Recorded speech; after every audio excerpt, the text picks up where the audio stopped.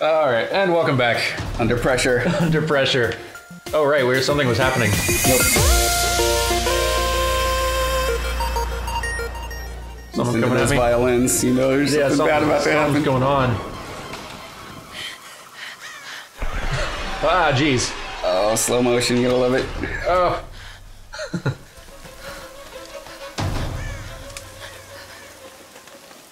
This is your first moment under pressure with the bow and arrow, if I recall. And wisely, they keep you still, right? So they did it with the story, and they do it with the mecha- with the mechanics. It's a, That is smart. a beautiful marriage there. So you only have to worry about one thing, which is aiming. I appreciate that the subtitles alerts you to the because we've got it turned down so the mic doesn't pick it up, so I cannot hear these sound cues.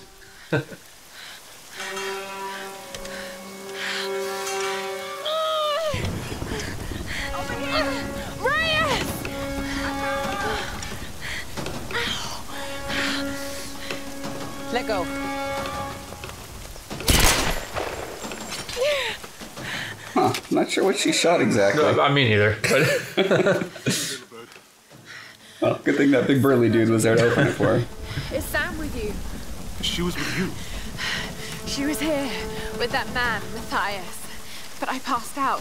When I woke up, there I forgot how much I like this game. Like, I'm really looking forward to the sequel now. Yeah. No, I uh, I feel like it somehow went really under the radar. Was it out during another big game or something? I feel like it did at Uncharted least come 3, out. or- Uh, it might have been or pretty close to Uncharted 3, or, or it may just have come out in that You know how to use one of these? same October, November wave of just where everything's coming out. yeah. Really easy to get lost in that mix. This Matthias guy. You gonna be okay? Yes, I probably just need to rest for a few minutes.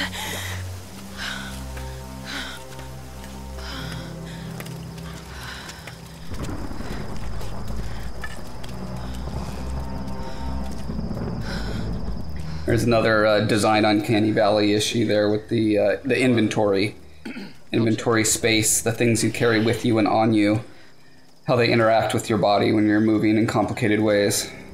They're- you know, they're, they're, the resolution is so high now. It's you know back when when you were Link and you had you know a, a, a 10 polygon shield and a 10 polygon sword and you did a roll and your shield clipped through the ground and your head and your legs you, you don't notice that sort of thing. Um, yeah, but the higher resolution these things get, both conceptually and visually, it's it's an interesting challenge to deal with. Yeah, just the more weird it feels. Just the more things we get looking right and perfect, the more the stuff that's not perfect stands out.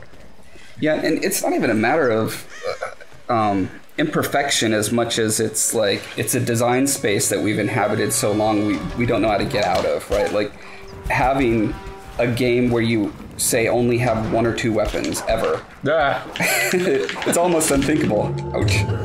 A that wolf. A him. yeah. Where's the other wolf? Oh, Jesus, right here. Hello. Oh, okay. Good aim. Wolf. Come on, wolf. So now is your your second under pressure Gosh. experience with the bow. Come on, wolf. and I seem to remember feeling like it was an undue amount of tension here. How much did do they wound you? Not too bad. Not, yeah, not too badly. I think I think they're pretty charitable, with at least with the with the damage. And I oh, that's right. I can. Oh no, I was getting my arrow back. Okay. Thought I was doing like a Far Cry scavenge Yeah. save pelts thing. Something on fire. Looks like something's on fire. Something's drawing you there visually. That's, Yep. that's a good thing. So you've got these little pools of light, which actually don't cast much light on the environment. They actually don't do much. A little bit. I, I guess appropriate. That's what torches. Yeah, sure, sure. torches don't light things well, apparently. Uh, arrows. Arrows laying around. What do we got? Here's our first um, major architectural feature. Hmm. Well, no, I guess the first would have been that bunker. Ah, yeah. Um, They must be rich. this is the first old style because the, the the story has to do with the multiple layers of, of history. here. Looks like it was made quite recently. By those islanders, no doubt. Judging by the wrecks out there, they were once. I really do love that they make Lara such a like anthropology Yes, well, let's hope archaeology nerd. That she just sounds like that kind of nerd and just like just her, the only thing that distracts her from how terrifying this all is is how interesting some Yeah. of the, some of the uh, artifacts she finds are. Oh, shit. It won't take the force. Nice character I'll have to find something sturdier to turn it with. Must be something around here we can use. Incredible. I, I, don't know if it's somewhat related. because we're just this is the all Josh Foreman pet peeve project. That we're No, that's on fine. here. This is, this is Um, good. something in general in, in movies and games is the the relative hotness of people, right? I, I You look at people who are really into archaeology. How many really hot people are really into archaeology? And it's Yeah. But it's like this unwritten rule that a, a movie or a game has to have, you know, a, a 10. They have to be a supermodel. and I just wish that wasn't the case. That would be nice. All right, like, are there any? I'm trying to think of some like uh, recent shows or uh, films or games that are like not doing that. Yeah, non-comedies. Yeah, yeah, non-comedies. Yeah, 'Cause that's- comedy, yeah, comedies are the exception to the rule. Am I supposed to be going all this way? I guess we'll. I guess we'll see. Looking for something better, Stronger. stronger, right? Oh, there's wolves. I wish they didn't blend in so much. Come on, wolves. trying to find things. What's your favorite game? Or one of your favorite games? I know choosing just one is kind of hard. Uh, question. Definitely big fan of Team Ico Oh yeah, or Eco if you want to be pedantic about it. I still don't know what the correct. well, I'm almost certain it's it's Eco, but you know, Probably. Yeah. an American, I'm gonna call it Ico. I've, yeah, I've been saying Ico for a long time too. That was a good Southern accent. Yeah. Lived in Texas for a while. Yeah, that's. Grew up in Georgia. I'm a. Some of my favorite multiplayer has been uh, Worms. Worms Armageddon, I feel, was the pinnacle of the Worms franchise. Good old worms. Yeah, I, you know, that's that's the thing you don't have much of anymore is hot seat play, where you can see the guy you're playing, you know, and you're taking turns, and there's that that's just an experience that doesn't really exist anymore. Yeah. Or just the couch competitive scenario. Yeah. Or they're close enough where they can hit you in the arm. Lately, I've, I've really been into roguelikes or anything lo- roguelites, I guess, more so. Um, like Spelunky, Rogue Legacy, Oh, yeah. Hand of Fate. Uh, games that, that really. I don't know. I because I'm kind of a discovery archetype player. That's that's my thing. Is is I want to see what's around the next bend, and it's great when it's something different around the next bend than what I saw last time I was here. Oh, okay. Oh, here's your first waterfall puzzle. How do you fire through the water? How to do. If I can do. Not sure I can do.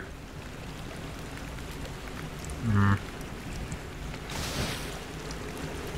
Maybe I found one of these little. Uh, oh shoot! Oh, glass look at lamppost. that. Ah, Yeah, okay.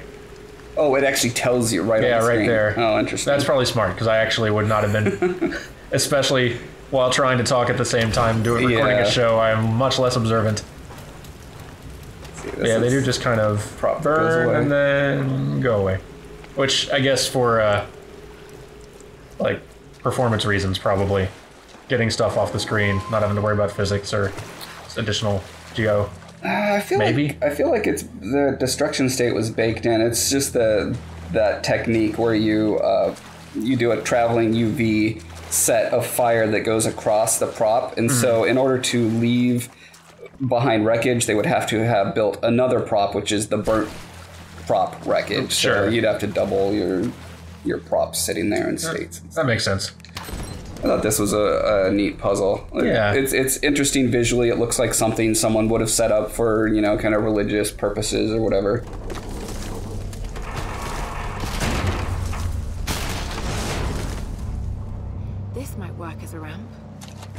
Ooh, good cue. This might work as a ramp.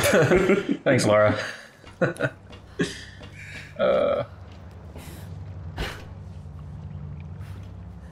That is always the thing with these games. Even if I don't actually know what, where I'm supposed to be going or what I'm supposed to be doing, it's nice that the character at least tells me, cues me in, is just go this direction, and you'll figure out what you're supposed to do. Go, go back to that uh, guess- that that rim that you were just jumping at real quick. Oh, back here. Yeah, yeah, right where you were trying to get up on there and could not. Oh, oh, back on the plane. Yeah, I want to look at that just from a from an analytic perspective. Okay. So, so there's a very straight line that's coming out of the, the edge of that craft. When Yeah. you when you tilt the camera, you see white on it, but yeah, it, it almost looks like it's got a different shader on it. It looks like I should be able to grab right? this. Yeah, and you cannot. So that's just something you know. Wow, that's that's really interesting. I wonder what's going on there. Yeah, I don't know. But you know, there there's a critique. That's a mistake that I probably made a hundred times, and that's a mistake they made there. They You've they established a rule, and so you have Yeah. to make really sure that, like, in establishing that rule, that you don't create something accidentally that looks like it that rule should apply to. Yeah, and it's not like the rule is broken, right? Because everywhere that you can climb is kind of this painted, chalky, flaky material, right? And that is Yep. not on that edge. That's true. Granted, so it's like it's a subtlety, but it's it's in it's in that gray area, and it's close enough where probably ninety percent of players did what you did, and they just hop up and down like an idiot for you know thirty seconds. Yep. oh, so I can just grab these now. Cool. And then I can throw them at things. Cool. I think. I assume. Throwing Ah, explosives nice. is the best. It is. All right. What are we going to throw our explosive at? Or I guess it's probably not going to actually blow blow up. It'll probably just catch fire. I I don't assume. recall. Huh. Oh, maybe I. Yeah. Maybe I throw it at this thing. Here you go. Yes, it's working. Whatever I'm doing is working. Is it sad that I just get Jake Lloyd in my head every time I hear that phrase anymore? Oh, now I'm thinking it too. no. Poor Jake Lloyd. Poor kid. He's not a kid anymore, is he? No. There's bits of white down there. Again, that's the light reflecting off of that. So yep. that that's an issue where uh, someone made the prop, right? They set a certain specularity amount on it, and whoever made the prop is 90% sure is not the same person who put it in the, this level and, and lit the level. So there's a, a place where some further communication could have helped. They could have said, Yeah. these things are like popping, glowing in my map. So either I'm going to turn down. Um, this is like uh, I don't want to get too technical, but ba- basically there's like a glowiness slider that you can put in your level, right? Yeah. That'll make highlighted things like really pop. And so that that's a matter where it's kind of confusing. It's like, wait, white things I can either burn or climb, except for those white things. And Right. It's just because your camera was at a certain. Which I guess is the consequence of choosing white as the color. Like no matter like whatever color you're choosing as the uh, the signifier for you can climb or interact with this has to be applied across everything just to be a consistent rule. But that means that you have to really, really limit wherever else you use that color because you're going to confuse the player. It's kind of it's kind of like using green screen, right? Yeah. It's like, well, you can't have a green outfit. It's why why I had to buy a blue screen because I was doing some shots where I'm dressed as Link, and so I'm I'm in green, and Yep. my green screen won't work. Exactly. Yeah. So you're trying to choose a color for that screen that is not naturally occurring in almost any situation, which is why they use that really bright, crazy green or blue if that green's not an option. But uh, but yeah, that, that's I imagine also the trick just with uh, creating these environments in general is because like whatever you want to choose a color that is naturally occurring enough that it feels right to be in the environment and doesn't feel like you can't choose the super bright green screen as you're Yeah. climbing on stuff color because that just does not look like it, it belongs in this world. But uh, Yeah, white works pretty well because because of bird crap, right? I mean that that naturally occurs on natural ledges and well on architectural ledges all the time. so- sure, And and it's fairly random. It's wherever birds happen to congregate. So that's a good point. Actually, it's a good justification for it. And I mean, Uncharted generally uses yellow. I think. I feel like they're mostly yellow. I, uh, the the latest game I've been playing is Mad Max, and they're yellow. Oh, do they use yellow as well? Yeah. I still need to play that. It's too much stuff coming out. Indeed. Too much good stuff. I felt Mad Max uh, excited me because I felt like it was finally the right game genre for the uh, let's see. Watching the latest Mad Max movie left me with a desire to know to know more about this world and to explore this world. Yep, Right? yep. It was a fantastic story, and like how it was just stripped down. You know, it focused on like two things and did those two things perfectly but it made it clear that there's a whole world of ideas and concepts out there that had been thought of but only hinted at in, in the film and so it was great that a game could come along and be a big open world game full of you know exploring these things Totally. more How, how have you felt about it? Like uh, what you've seen of it so far? I've played about I don't know maybe ten hours, and I'm I I think because there's so much good stuff out there, I'm probably gonna drop it at this point. Sure. Um, I feel like I've got you know the eighty percent of what it has to offer. I'm just gonna jump down here anyway. Ow. Sorry, Laura. but I did enjoy my time with it. And I'm looking forward to it. I, I'm at the point where I've got still like Metal Gear and Witcher both unfinished, and they're both impossibly long. Oh, and yeah. Fallout's about to come out, and like I can't have long. yeah, like I can't have all three of those in progress at the same time. I need to start finishing these, and then there's all these other games coming out. Yeah, well, at some point, you know, I've heard this from a lot of designers. They say you just you just have to make the sacrifice. You have to decide there are going to be a lot of games that I only play a quarter of the way through Yeah. or for two hours. Designers, especially, I'd imagine, Yeah, just that. because I need to know what they did in this game. I need to experience as much as I can, and there's some threshold at which you can kind of get a feel for, you know, okay. For, from here on out, it's mostly iterating on these core concepts. Sure, yeah, but yeah, designers have got to stay current on just what everyone else is doing. It's not like you know, if you're a film director, you can watch almost every film that comes out, and, No. and, uh, you know, it's it, it's possible. It- yeah, but yeah, you won't have time to direct anything. But well, no, I mean, It's it's it's hard. okay, sorry, uh, not every film that comes out. I feel like you can watch most of the the main the main Hollywood films that come out. You know, you could Right. spend 10, 20 hours a week and watch pretty much all the movies that came out that week. Yeah, that's fair. Uh, you, there's no way you can't even come close with games. All right.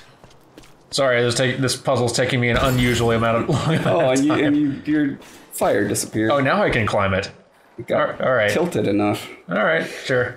Yeah, I feel like they could have they could have had a something that that moved there to make that more Just to message that a little bit more clearly. Yeah. Well, I mean, uh, I guess the entire thing tilted, but the, Sure. But that particular ledge, although again, it's not a grabbable ledge. Was it? You, you I, I, did- I kinda- did grab it this time, it, so yeah, which is a little, and it doesn't feel like it feels to me as a player just looking at. Oh dear. Okay, good. uh, it's felt to me like I should have been able to grab it this whole time, so it's just a little bit of a, I don't know. We, we don't like that ledge.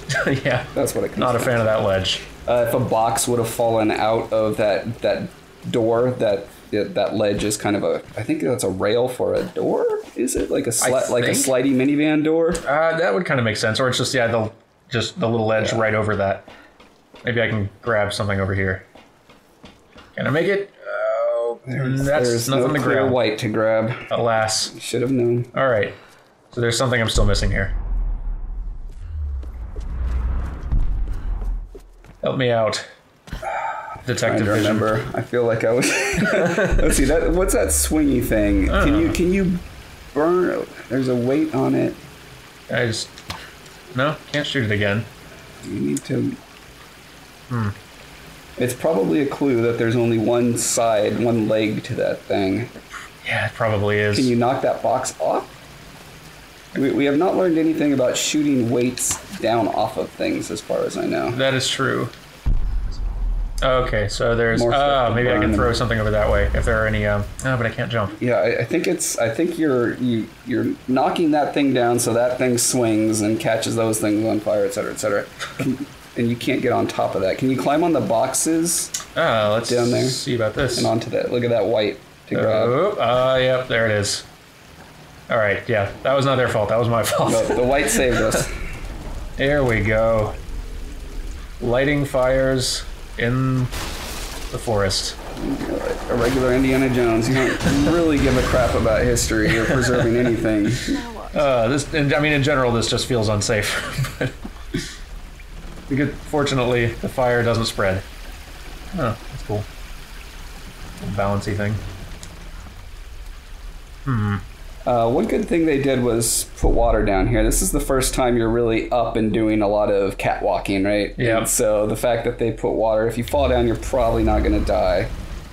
That was that was smart on their part. Yep. Where do I need to head from here? Uh, I think you climb up the plane now, or or there's you can get into the plane. Ah, that might be. All right. Well. Good idea. Bad idea. Uh, that turned Ad- out. adequate idea. Uh, it, yeah.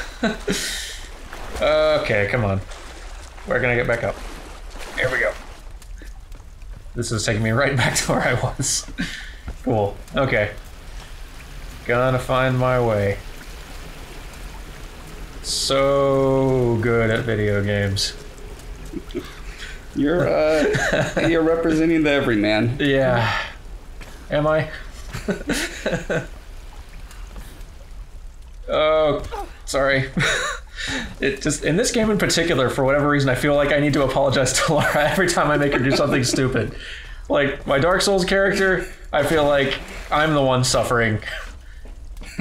Here, I feel like Lara's the one who has to deal with every stupid decision I make. Wonder why that is. Do you think that's a? Do you think that's a? Um, I think it's because the game show like just story wise, the game emphasizes like how much everything like hurts her. Like every like every big fall you take, she feels like she seems to take somewhat realistic damage and pain from. Looks flammable. Thanks, Laura.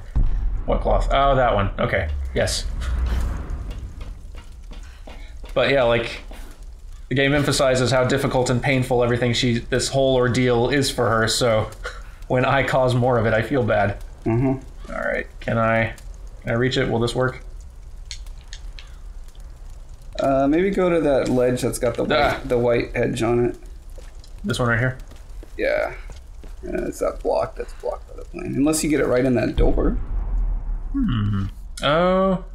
Ah, maybe I could. Let's try that. Oh. Yeah. That feels That's good. the one. That feels, good. good.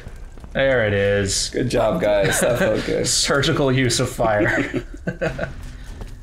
uh, okay, and that opens the way probably to inside the plane to jump in. Okay. I got this. And yes, there's white ledge. And another one. One of the really neat things about this puzzle is that you're literally interacting with the history of the island, like physically. Oh, yeah. You're not reading text about the history. You're not uh, being told by an NPC about the history. You are physically rolling it, burning it, shooting it. All the things a good archaeologist knows to do.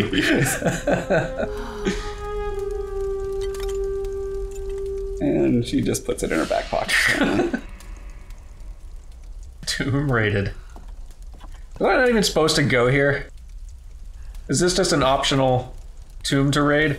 I think it is. I think this is your Ah, first tomb raiding cool. experience. Didn't get anything I needed for what the guy sent me off to do. but uh You'll learn some stuff. but this stuff is coming home with Came me. back with knowledge. Uh, all right. See if he's eaten by wolves at this point. All right, heading back.